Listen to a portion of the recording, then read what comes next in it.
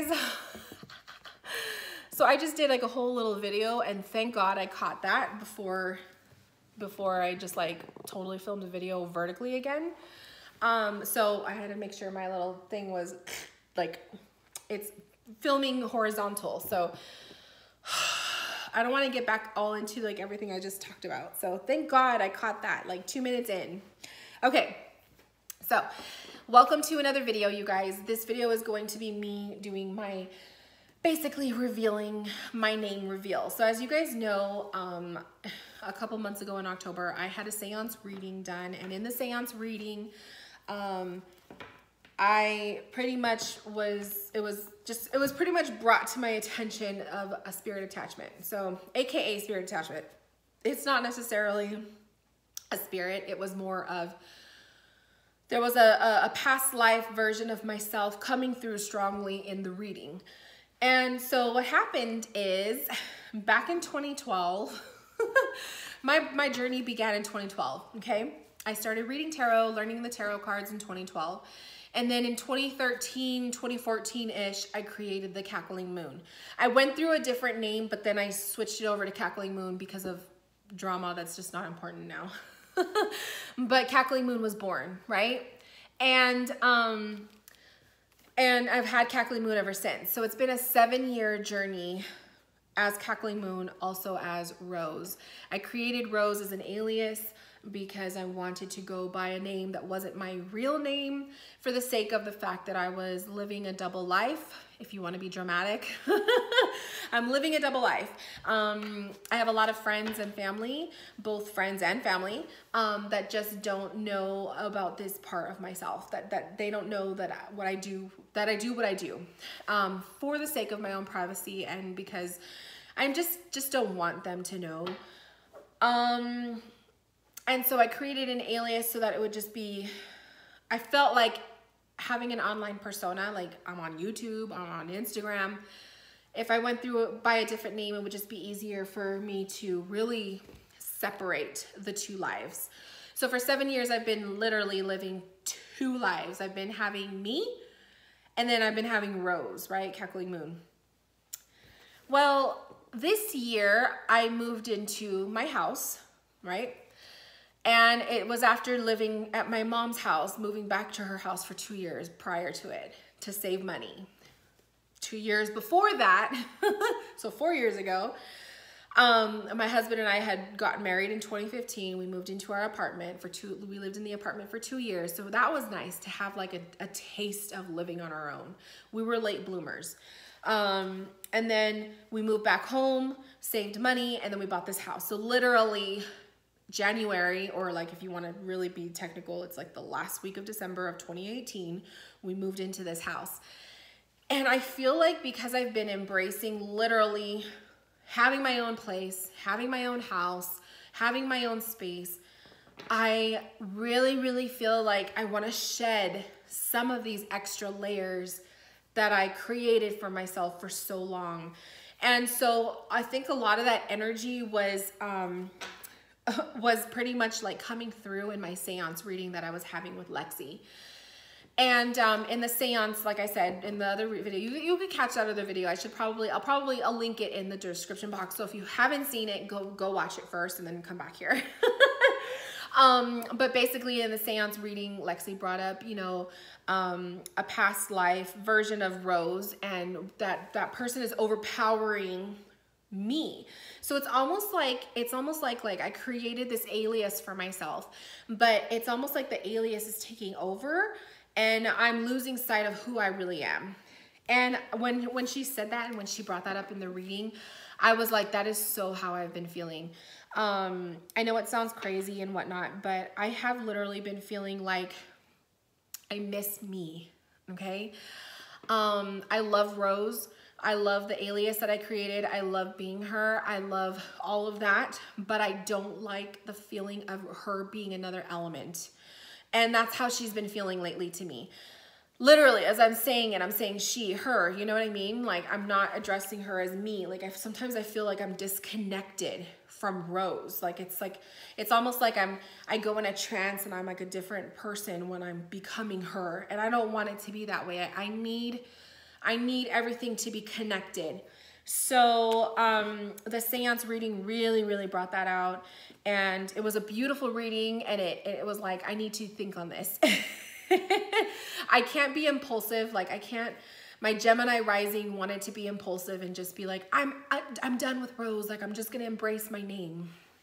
But I was like, no, there needs to be some work done. And even Lexi mentioned it. So um, in November, the, the Crow Conjuring, which is the subscription group that I'm a, a, part of. So if you guys don't know about them, I'll link them below so you can check them out.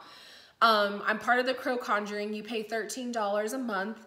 You get a password to the website. You And the website has access to meditations, Reiki healings, um, card readings, everything. Like it's just really, it's a really fun website. It's really cool. Um, they have like journal prompts and stuff. Like I like the journal stuff. but um, it's it's just it's a really fun subscription based thing. It's it's it's it's just pretty cool. So in November they had a past life, um, a, a, like a soul retrieval meditation, a past life regression meditation. I've never done one of those. I've always heard of it. I've heard I knew a couple people who did it and basically in a past life regression, you go in a meditative state, you pretty much jump into a past life and you see a version of yourself in the past life and it's supposed to teach you things about you in the present. Because if you guys believe this, I believe it, but um, pretty much we've all had past lives, previous lives, and things that we did in previous lives will sometimes come through in our present. So like if you're battling with an addiction in your present life, sometimes it has to do with something in the past life. Um, your inability to do things in the present has something to do with the past life. So it's weird. Like I've had, um, I've had readings done on past lives and some stuff was like interconnected. Like one reader would say something and then another reader would tell me something very similar. So it's just like, and then your own dreams are sometimes like snapshots into the past life. So you could go really deep in, all, in that all, the whole thing. But um, so I participated in the past life regression meditation, and I was mind blown. I, it was like before even like before Nancy was even prompting us to like begin the trend like transcending into your past life i was already there. It was like rose was just waiting for me. Um and so my experience with the past life was very um was very beautiful. It was i was pretty much taken through um a stony step like staircase kind of a thing. Um, Rose was taking me through like it was like it was like back in the days um, in Ireland. She was a nun in Ireland, and she was like taking me through this like old churchy looking like stone place. And she was just showing me like the blending of faith and spirituality. And so that's always been like the essence of rose when i was like first diving into this alias right? Um blending both my my um belief in god as well as like the spiritual like this this stuff that i like to do. That's always been a part of my path. And so it just blew my mind that the past life Rose was the same way. She was a very strict um, Roman Catholic, but she was also like a Catholic nun, but she was also very spiritual on the side, like hush hush, kind of like like a witch, you know, hush hush. So anyway, the past life thing just like blew my mind, and the one thing that I particularly remember in this meditation was I was literally repeating to her, "Please let me go, let me go, let me go." Um, in other words, I'm ready to, I'm ready to detach from that version. Um, and basically it's like, that was me in a past life and now I have to embrace my present life. And my present life is different from the past, obviously. Um, and one of the biggest things that I think will kind of jumpstart my ability to detach from that is to get rid of the name Rose. Um, because like I said, it's feeling more of an entity and not, and not me. Like it feels like it's another person, if that makes sense. Um, and that's what Lexi was saying in the reading too. And it was just like, yeah, that's exactly how I've been feeling. And it's like, I want to embrace me. Like I want to feel me. I want to feel magical. And the, the, the biggest thing that made me feel the way I felt is I told Lexi and I and I um and I just I knew it. Like I felt I feel it every single time. But when I say or if I hear someone say my real name in terms of tarot it doesn't feel natural. It feels like a bad word. And I was telling Lexi that like I go my own real name feels like a bad word coming out of your mouth. Because Lexi was calling me by my real name in the reading and um, it was nice. It was like liberating, but it was so weird at the same time because I have literally, I have separated the two for seven years. That's a lot of layers to break and to, you know, to peel yourself away from and to finally like set yourself free. It's a lot of layers. It's a lot of years. So when Lexi was saying my name, like I liked it. It was very um, liberating, but it was so foreign. and it's my name, you guys. That's my birth name. Like, it shouldn't feel that way. So, I want to get to a place where I feel very natural. And it's seven years of this. I just saw 1111, which is like positivity, like be positive.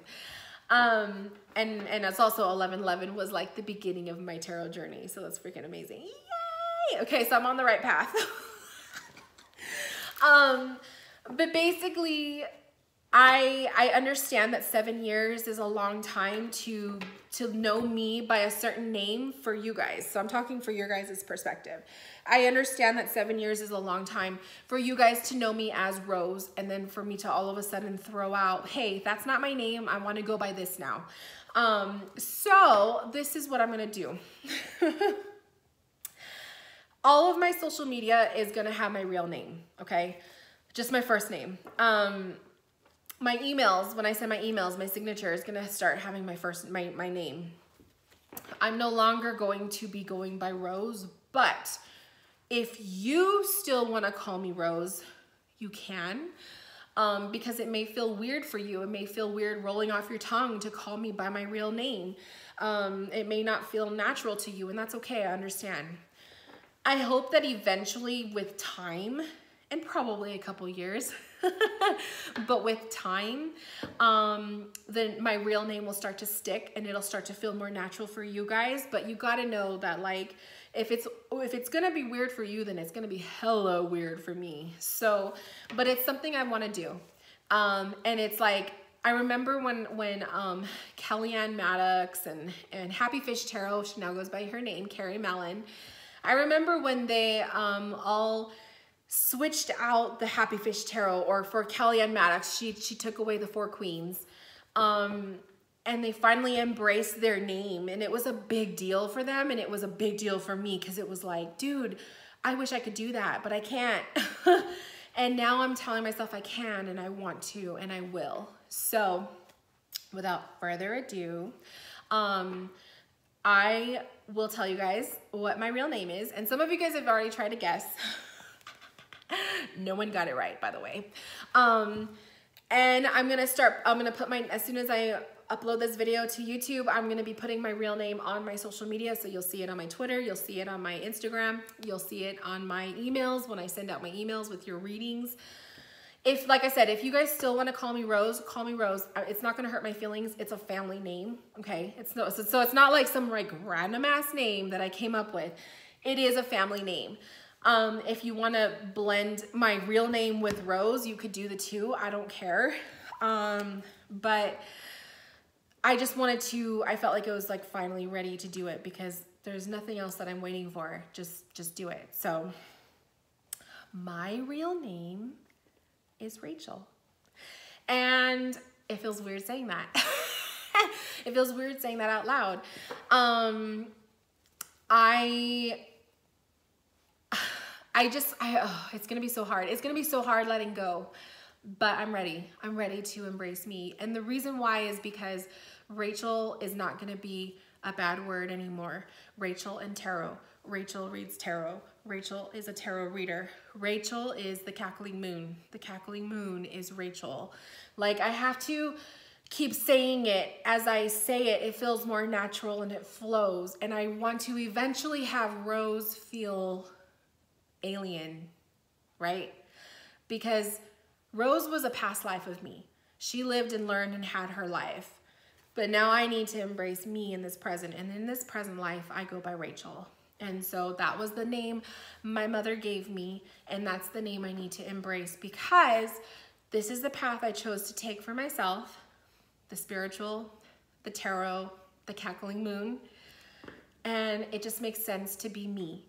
So it feels so good to finally say it. and so now that I have said it out loud, you guys are allowed to say it out loud as well. So some of you already knew my name and I and I thank you for keeping it hush hush until I came out with it. So those of you guys who knew my name prior to this, thank you for holding that space for me. Um, but I am ready to let that go. So, so if you guys are seeing my social media and you're seeing who's Rachel, like that's me. Um, if you have questions, ask me. I'm not gonna get mad. Like send me a DM or whatever. Um, I hope you guys watched the whole video. If you just tuned in and you like fast forwarded all the way to the end and you're like, what the fuck is she talking about? Like watch the whole video. um, but yeah, so it feels really good to say it. Um, and I'll say it again. So I am Rachel. I am a tarot reader and the creator of the Cackling Moon. I created the Cackling Moon in 2013, 2014. I started learning, I'm self-taught, I learned the tarot in 2012. Um, and I that's when I started this whole freaky, freaky path in 2012. I had my awakening.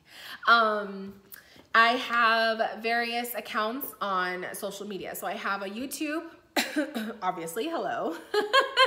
I have um, an Instagram account, The Cackling Moon. I also have a Twitter account, Cackling Moon. So every, all the information is below in the description box.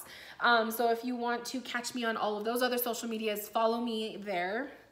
Um, and I also offer services. I do tarot readings. So if you want your cards read, um, I do offer tarot readings in the form of video. So it's just like this. You get to watch a video reading. Um, but check out my website, thecacklingmoon.com. And like I said, I just caught 1717, so I gotta go look that up now. um, so like I said, slowly but surely, like the website, I'm gonna go and try to update it right now from my phone if I can. But the social media, if you guys start to see Rachel popping up, that's me, okay, you guys? So little by little, baby steps, but this is the big step. So um, I hope that you guys enjoyed the video. Thank you guys for tuning in. Thank you so much for being a part of this journey with me and I will talk to you guys soon in my next video. Bye, loves.